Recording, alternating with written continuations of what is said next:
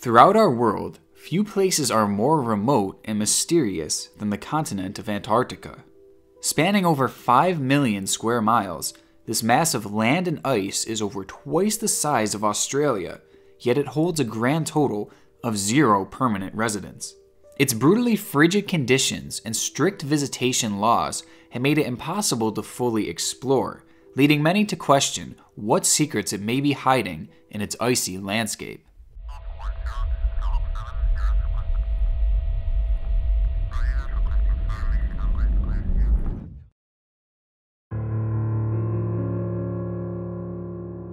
In the mid to late 1950s, the United States was heavily invested in nuclear technology, and specifically nuclear weapons.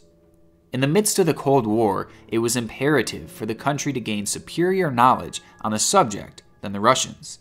Because of this, the United States was constantly building and experimenting on all things nuclear. Over the course of the Cold War, over 1,000 nuclear devices were fired as part of US government experiments, with few being as controversial as the experiments conducted in Operation Argus. The main goal of Argus was to test the effects that nuclear weapons had in colder, high altitude regions.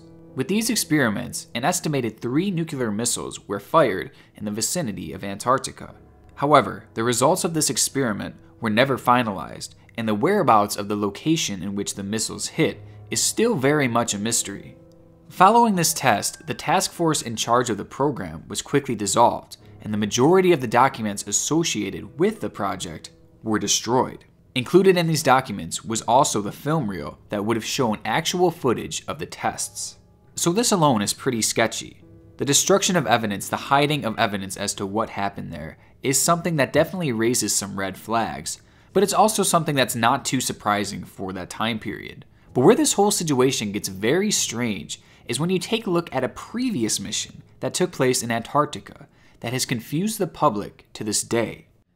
In 1946, the United States Navy sent troops to Antarctica to supposedly set up a military base and to train them for cold weather conditions as part of Operation Highjump. Now, this wasn't a small convoy or anything like that. All in all, 4,700 troops were sent up to the frigid landscape in December of that year.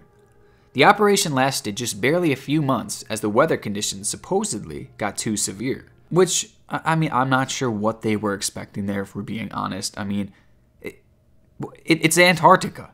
In total, it was reported that four men lost their lives in the short expedition. However, some believe that the number is actually much higher than that, and that in their time up there, the United States Navy was attacked. It is theorized that upon the trip through the harsh landscape of Antarctica, the brigade was attacked by unknown crafts, which forced them to retreat out of the area. The attack was highlighted in a now leaked Soviet report where KGB agents had gained knowledge from US soldiers present at the site of the attack. The US soldiers claimed that while they were being attacked by these hostile forces, they reportedly opened fire on the crafts, ultimately shooting one down into the water below. However, the advanced technology of these crafts proved way too much for the fleet to handle, and they were forced to retreat after losing several aircrafts and men in the attack. After the fleet returned back to the United States, one of the leaders of the expedition, Admiral Byrd, began discussing with the media that the United States should set up defense bases in the polar regions and that flying crafts from the area posed a serious threat to the United States. After these shocking and controversial statements, Byrd was thrown into a mental institution and never heard from again.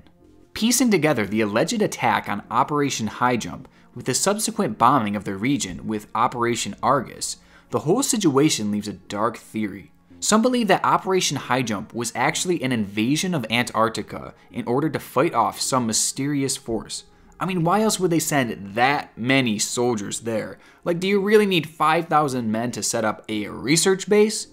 And maybe when this operation failed, and when the United States Navy realized that they were no match for this advanced weaponry, perhaps they fired those nuclear weapons to take care of the enemy once and for all.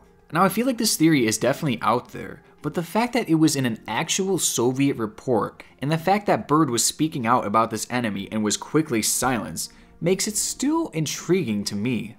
Plus, I can't get over why they would send that many people up there to set up a base, and I can't get over why they would fire those nuclear weapons in Antarctica for research when they didn't even end up posting any actual research from their findings. And what about the tapes? Okay, you know what? Let, let me chill. Let me chill real quick.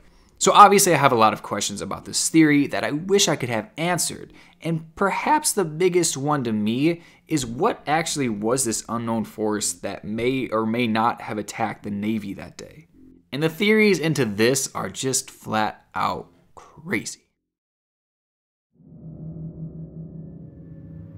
Many of the most popular conspiracy theories surrounding the region of Antarctica deal with alien life.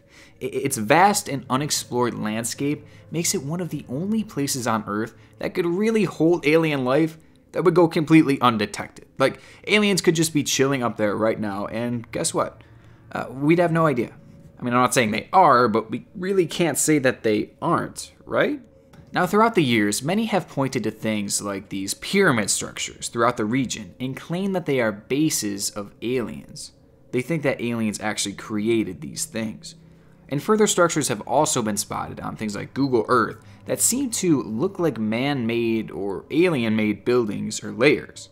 And due to our inability to explore these regions and confirm or deny whether these are structures or not, it causes our imagination to kind of run wild with what could have made them and what could be living in there. Now, me personally, I tend to view these structures as just kind of weird shaped rocks, but I will give some credit that quite a few of them do look pretty convincing. Now, just recently, a photo from Google Earth went viral of what appears to be a spaceship crashed in the snow on an island just outside of Antarctica. With this photo, you see a definite trail behind a large tube like object, making it appear that whatever this thing was, it had just crash landed.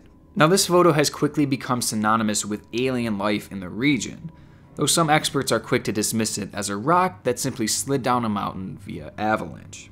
It's a really interesting photo that has many who believe that aliens are truly out there excited.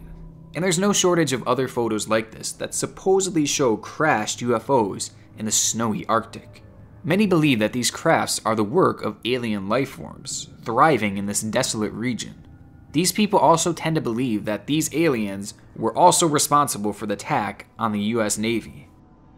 It's a frightening concept, thinking that hostile alien life forms may be living in Antarctica, and the idea that they have attacked before may also mean that they may attack again, and with no defense bases anywhere in the region, nothing would be stopping them from attacking, let's say, a, a, research team of ours in the area. But to me, the idea of aliens being responsible for these mysterious crafts is not even close to being the most interesting theory.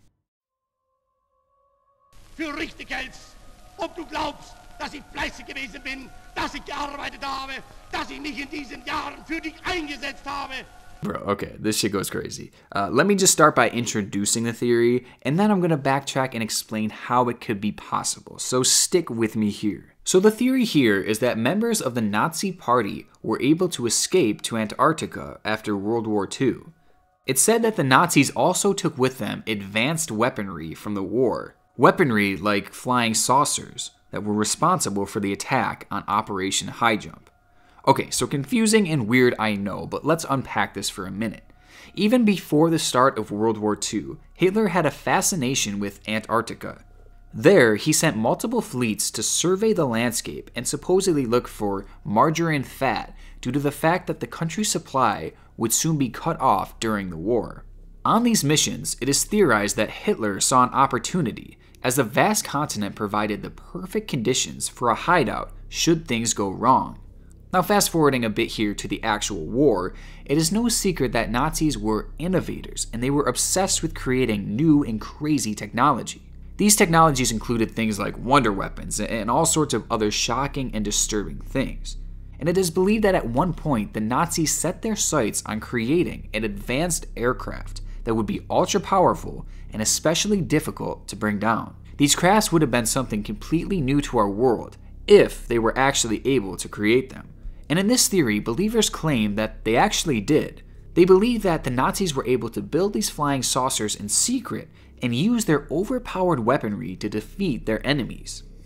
And looking at all the other crazy stuff that they were able to invent, I mean, it's still improbable, but it's definitely not impossible that they were actually able to accomplish something like this. Okay, so if they had this advanced weaponry, how did they end up in Antarctica? Well, perhaps after World War II had ended, the remaining Nazis fled their homeland to avoid persecution and landed in Antarctica, where they likely would have never been found. And the idea of Nazi soldiers and officials escaping Germany after World War II is something that is definitely not outlandish.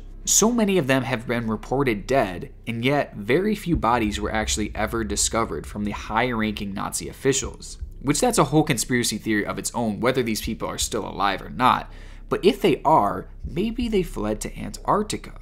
And maybe they took their advanced aircrafts with them to A, escape undetected, and to B, keep their technology a secret to possibly use at a later date. I mean, this kind of makes sense because, as I mentioned before, the Nazis had more information on Antarctica than probably any other country at the time, because remember, they had sent crews there on multiple occasions. Also, in 2016, Russians actually discovered a legitimate abandoned Nazi base in Antarctica. So they had at least one legitimate settlement there, and it might not be too far fetched to believe that maybe they had more that just haven't been discovered yet.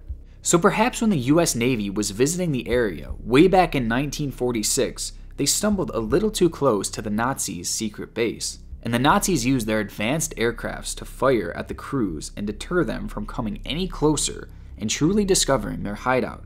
And stretching it even further, maybe the US retaliated by shooting those missile tests in the area in order to secretly and quietly kill off the remaining Nazi troops. It is so crazy to think about, it is so weird, it is so probably not true, but it so totally could be. Maybe someday we'll find out if there was any truth to these wild theories. But until then, many of us will remain fascinated by the mysteries of Antarctica.